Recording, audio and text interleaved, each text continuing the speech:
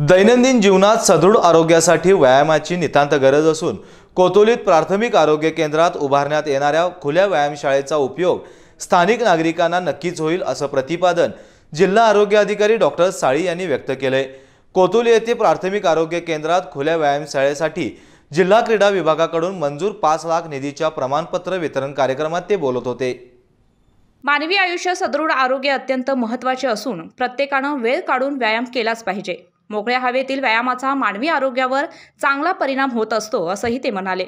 यावेळी माजी सरपंच सज्जन पाटील यांच्या अध्यक्षतेखाली पार पडलेल्या या वितरण समारंभात सरपंच प्रकाश पाटील क्रीडाधिकारी अरुण पाटील कोतोली आरोग्य समितीचे अध्यक्ष संभाजी पाटील वैद्यकीय अधिकारी डॉक्टर कैलास गीते ग्रामविकास अधिकारी एस डी मुसळे माजी डेपोटी सरपंच सरदार पाटील उपमाहिती जनसंपर्क अधिकारी अभिजित कोतोलीकर शशिकांत पाटील अभिजित कोतोलीकर संतोष सूर्यवंशी संदीप चौगुले यांच्यासह ग्रामस्थ तरुण मंडळी आदीजण उपस्थित होते.